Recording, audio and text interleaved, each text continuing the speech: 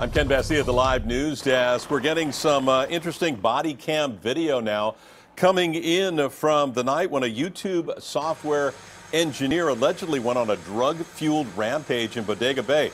Uh, this happened back on July 4th. 32 year old Batai Kofi had taken LSD, according to his friends. They say that he immediately started punching, choking, and stabbing several people in the place where they were staying.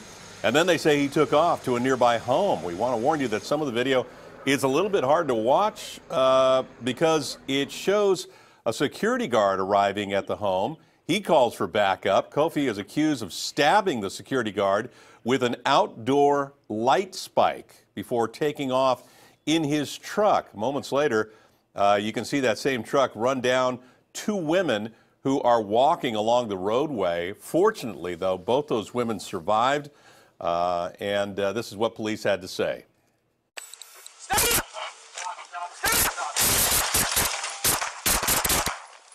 three, shots fired, shots fired. And that's the actual incident there. Kofi was located a short distance away.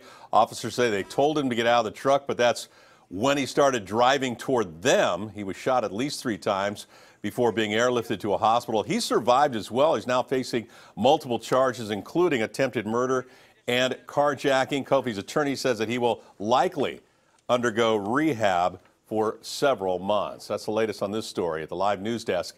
Back to you.